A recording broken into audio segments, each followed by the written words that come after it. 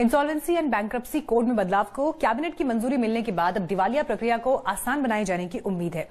इस बदलाव के बाद अब पुराने मामलों के लिए नए प्रमोटर्स की ज़िम्मेदारी तय की जाएगी। इसके साथ ही रियल एस्टेट में भी घर खरीदारों के अधिकारों से जुड़े कानून में बदलाव की तैयारी की जा रही है। सरकार ने इंसॉल्वेंसी एंड बैंक कोड यानी आईबीसी ने बदलाव को मंजूरी दे दी है। सरकार इस विधेयक के ज़रिए इंसॉल्वेंसी समाधान प्रक्रिया में हो रही मुश्किलों को दूर करना चाहती है। साथ ही दिवालिया प्रक्रिया से गुजरने वाली कंपनियों को, खरीदने वाली कंपनियों को सहूलियत देना भी इस बदलाव का मकसद है। इस बदलाव के बाद अब एसआर स्टील का टेकओवर करने वाली आरसेलर मित्तल स्टील की चिंताओं को दूर किया जा सकेगा। इसमें साफ़ किया गया है कि अब पुराने मैनेजमेंट पर चल रहे कंपनियों से जुड़े मामलों का नए मैनेजमेंट पर असर नहीं पड़ेगा। इस कानून में बदलाव के बाद अब कॉरपोरेट इंसॉल्वेंसी रेजोल्यूशन प्रक्रिया आसान हो जाएगी।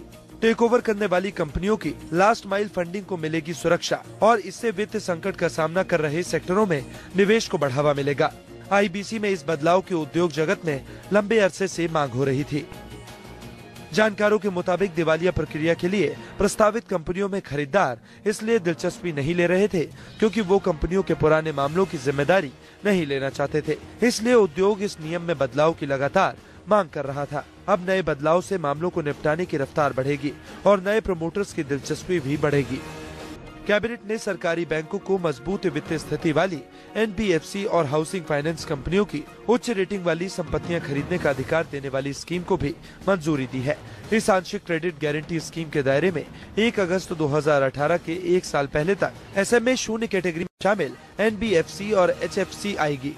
इसके साथ ही रियल स्टेट कंपनियों की घर खरीदारों के अधिकारों में कटौती की मांग पर भी सरकार जल्द बड़ा फैसला कर सकती है। खबरों के मुताबिक किसी प्रोजेक्ट में 100 या 10 परसेंट घर खरीदारों के एनसीएलटी जाने पर ही दिवालिया प्रक्रिया लागू की जाएगी। अभी तक किसी एक ग्राहक के जाने पर भी दिवालिया प्रक्रिया शुरू हो जाया करती थी। पिछले केसेस में देखा जा रहा था कि एक सिंगुलर होम बायर भी एनसीएलटी रेजोल्यूशन प्रोसेस को ट्रिगर कर रहा था।